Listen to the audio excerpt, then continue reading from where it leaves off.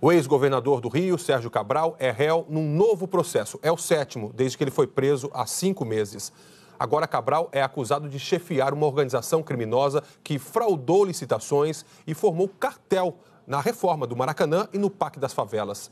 A reportagem é de Lília Teles.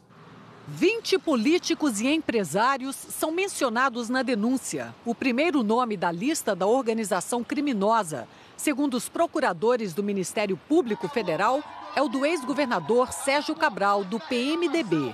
As investigações do Ministério Público Federal se concentraram nas fraudes da reforma do Maracanã e no PAC das Favelas. O juiz Marcelo Bretas, da 7 Vara Federal Criminal do Rio, aceitou a denúncia e todos vão responder pelos crimes de fraude a licitações e formação de cartel. Com mais esse processo, o ex-governador Sérgio Cabral vira réu pela sétima vez na Lava Jato.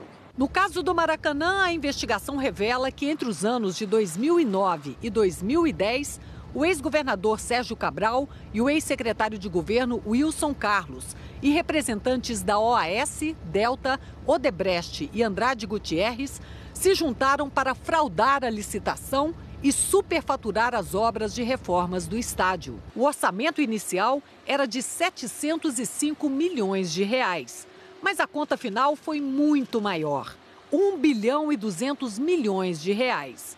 Ainda segundo os investigadores, uma propina de pelo menos 35 milhões de reais foi exigida pelo ex-governador para organizar o cartel e aprovar a licitação fraudulenta.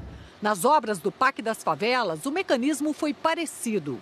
Segundo a denúncia, entre 2007 e 2008, Sérgio Cabral, Wilson Carlos e Ícaro Moreno, ex-presidente da empresa de obras públicas do Estado, combinaram a fraude na licitação com as empresas investigadas.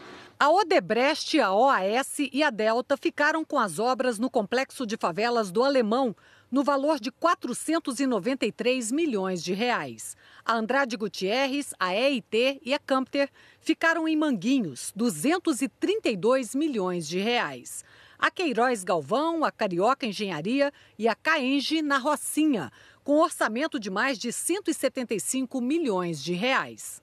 Relatórios da Controladoria Geral da União mostram que as obras nas três comunidades tiveram sobrepreço. Na Rocinha, de 12 milhões de reais, mais de 7% do total. Manguinhos, 41 milhões e meio, quase 17% do valor da obra no complexo do Alemão 166 milhões de reais, sobrepreço de mais de 24%.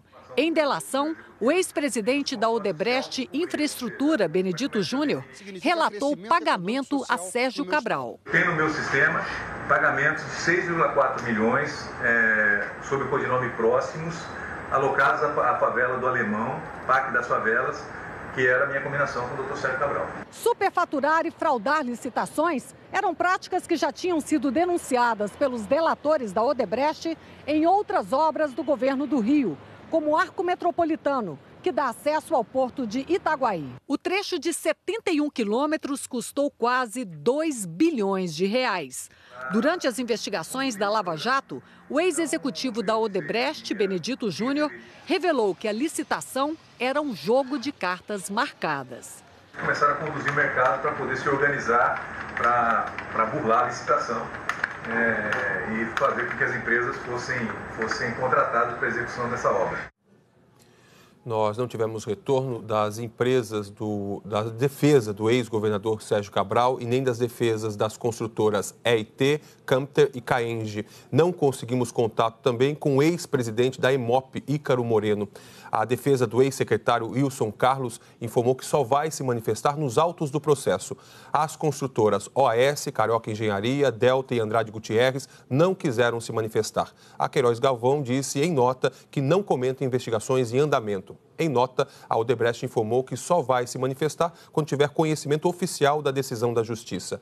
E o Ministério do Planejamento disse também em nota que estabelece meta e acompanha as obras do PAC e que a gestão de cada contrato é feita pelos órgãos responsáveis.